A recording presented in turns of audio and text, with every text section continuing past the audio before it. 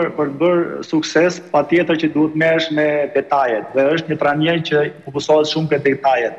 Dhe duke qenë se në këtë moment e kemi lojtarë shumë që janë pothuajse gjysmë e ekipit janë lojtarë që janë rritur jashtë trevave shqiptare.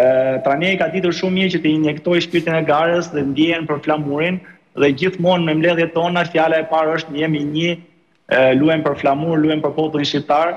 Çka më parë kjo mungonte. Lojtarët që ishin rritur jashtë vinin me atë ndjenjë, thjesht po luajmë një ndeshje dhe dhe ktheheshin nëpër klubet e tyre. Por tashmë kjo gjë nuk ndodh dhe është ajo ndjeja e patriotizmit dhe shpirti i garës në fushë është maksimal.